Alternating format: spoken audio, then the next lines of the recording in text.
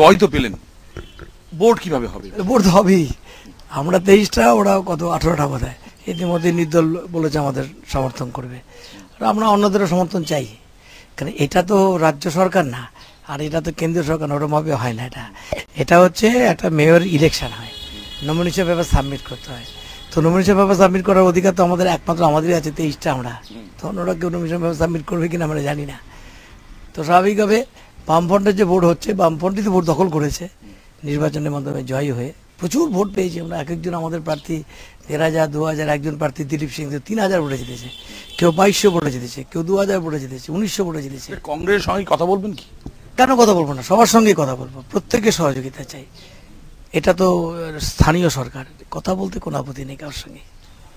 একজন প্রার্থী তার স্বামীকে অ্যারেস্ট করে নিয়ে গেছিল। সেই প্রার্থী প্রচুর ভোটে জিতেছে।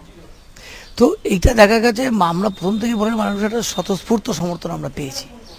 তার কারণটা হচ্ছে এই তৃণমূল কংগ্রেস দলের অধ্যত্ত গুন্ডামি গণতন্ত্র হরণ করা দুর্নীতি এটা শিলিগুড়ি মানুষ পছন্দ করে নাই। আগামী দিনে শিলিগুড়িতে নতুন কি নতুন কি দিশা দেখাবেন? ভোট হোক না আমরা তো ইস্তাহার তৈরি করেছি সেখানে আমরা বলেছি সমস্ত কিছু। সেগুলো আমরা করব। সবার সহযোগিতা চাই সরকারের সহযোগিতা চাই।